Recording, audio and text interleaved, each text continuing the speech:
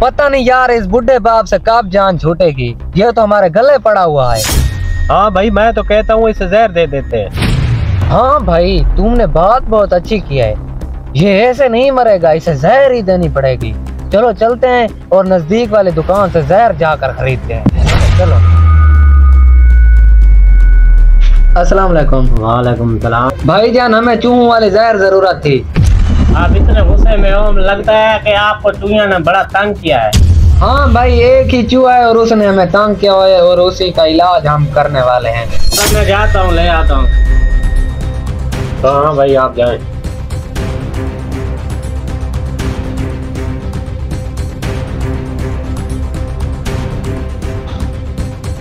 भाई आपने शापर जी हाथ पे क्यों बांधे हुए ये बहुत खतरनाक दवाई है। आपने भी ख्याल से इस्तेमाल करना है।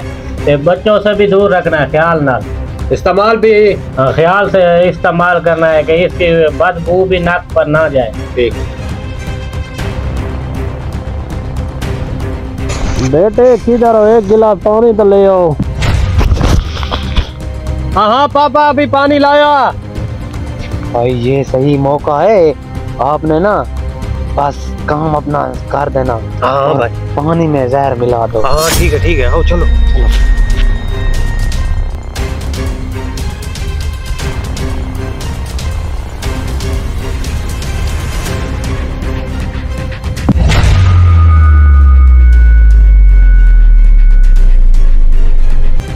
एहतियात से डालना कहीं आप उससे पहले न टपक जाए।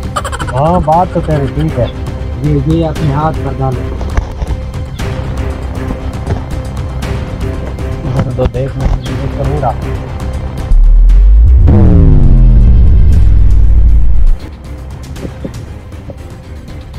बस काफ़ी है काफ़ी है चलो। अब काम होगा होगा होगा। और मुझे लगता है ये काम करेगी। करेगी करेगी।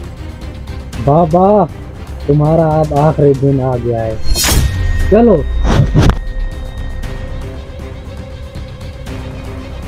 भाई आप इसे तू दे। तू ही दे बस। नहीं भाई।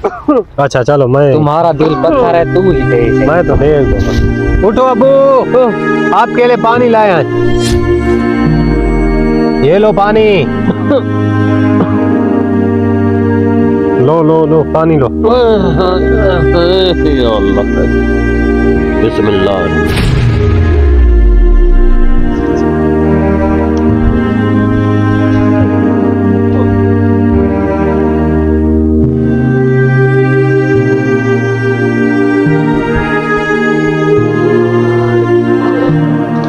क्या हुआ पापा आपने पानी क्यों पानी क्यों बेटा मेरी तबीयत खराब होने